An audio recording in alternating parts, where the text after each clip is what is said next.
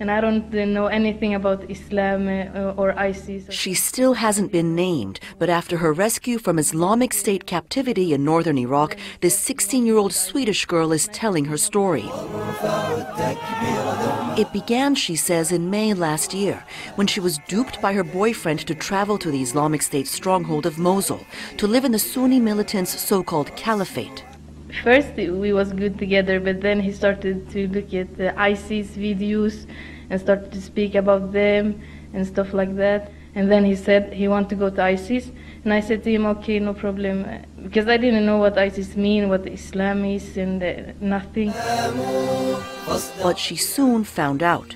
She says Islamic State provided the couple with a house, but that life there wasn't what she expected.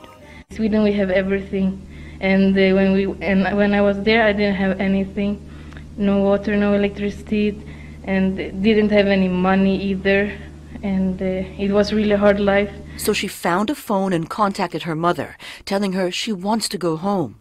On February 17th, the teen was rescued by Kurdish special forces. She's now safe in Kurdistan, waiting for Swedish authorities to take her home.